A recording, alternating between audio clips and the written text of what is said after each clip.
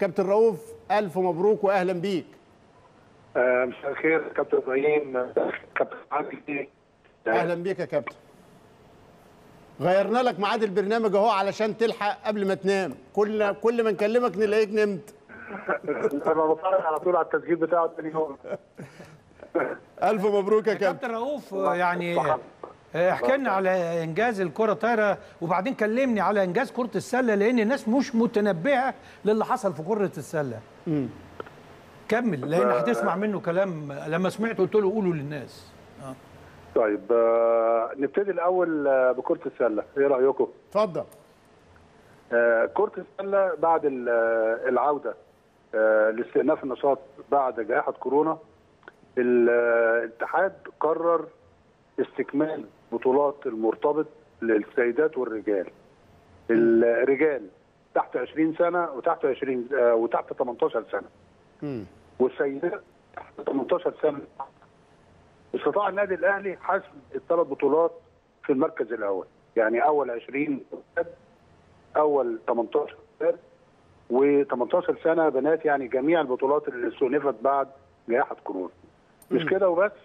بيبقى فيه درع مخصص للنشاط في جميع الدرجات آه، والمراحل السنية سواء في درع العام للفرق الرجال وفي درع عام لفرق السيدات. آه، النادي الأهلي أيضا بالدرعين. ده دليل عايز عايز أتوقف هنا عند فوز النادي الأهلي بالدرعين وحصول النادي على المركز الثاني في البطولات اللي خاضها على مستوى الرجال. هذا معناه إيه؟ ان السلة هي الأولى. سلة. الاهلي هي الأولى. هذا الموسم. ده درع. آه. رجال وسيدات. آه. بالظبط.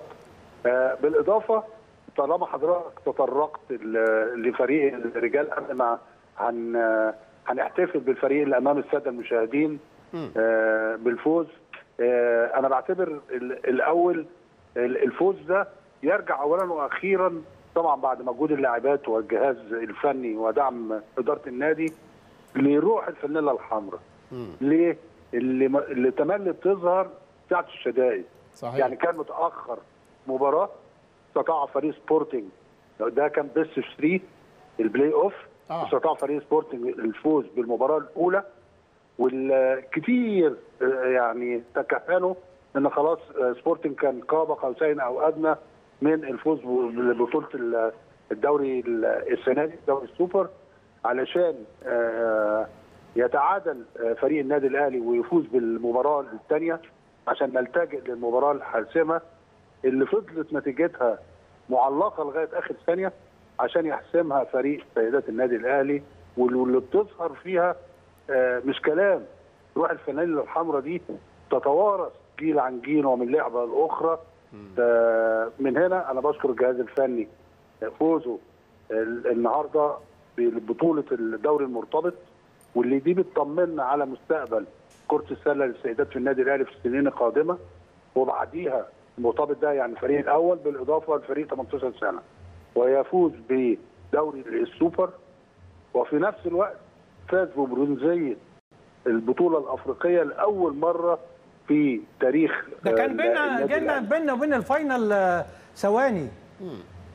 آه يعني كورة كانت فاول اتحسبت آه على اللاعبه هالة في الآخر ثانية اللي غيرت نتيجة المباراة. آه يا إما يعني كنا بنلعب على ال final وكنا برضو قريبين جدا من فوز من البطولة. طالما بنتكلم بقى على آخر ثانية هنتقل من السيدات للرجال.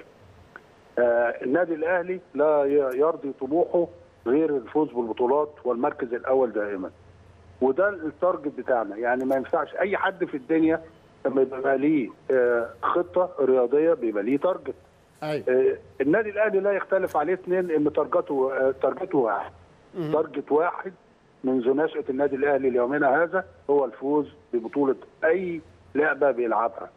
واه الرياضه مكسب وخسارة وكل حاجة لكن إحنا لا يرضي طموحنا إلا المركز الأول كما تعودنا دائما ونورث هذا من جيل إلى جيل.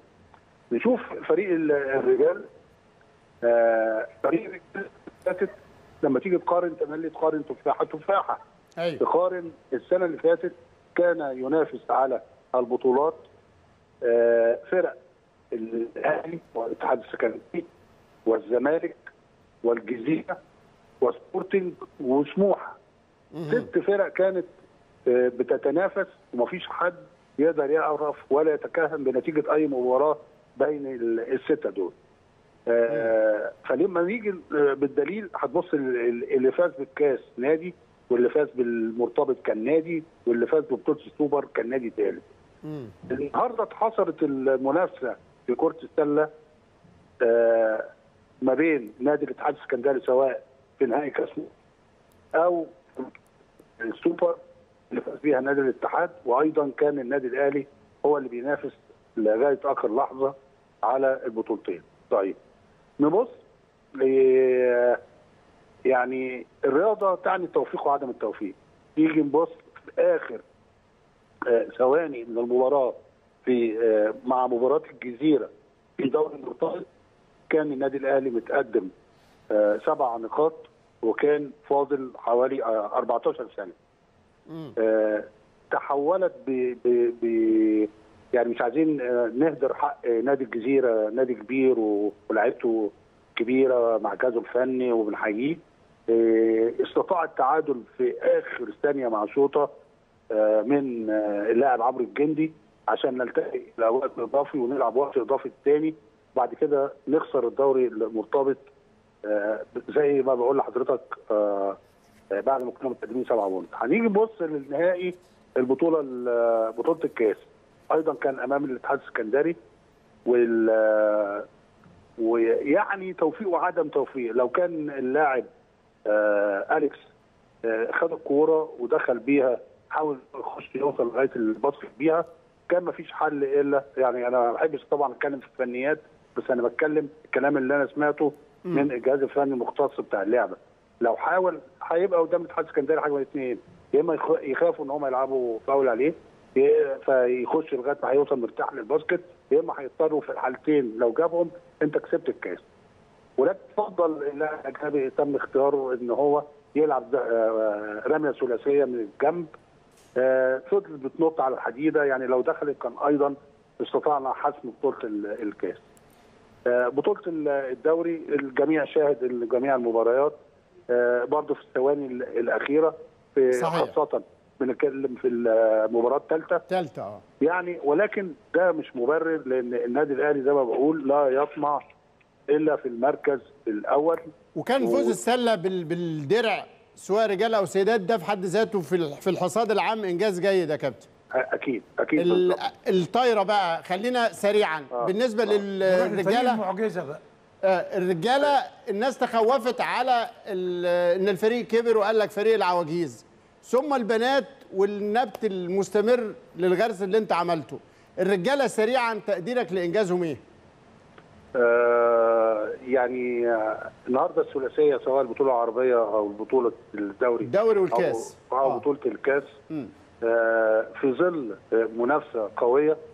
آه خلي بال حضراتكم حضراتكم يعني ال- الوضع دلوقتي بقى كل الأندية النهارده أصبحت بتنافس يعني كان آه، يعني في ال 20 سنة الأخيرة يمكن كانت المنافسة بتنحصر دائما ما بين النادي الأهلي ونادي الزمالك.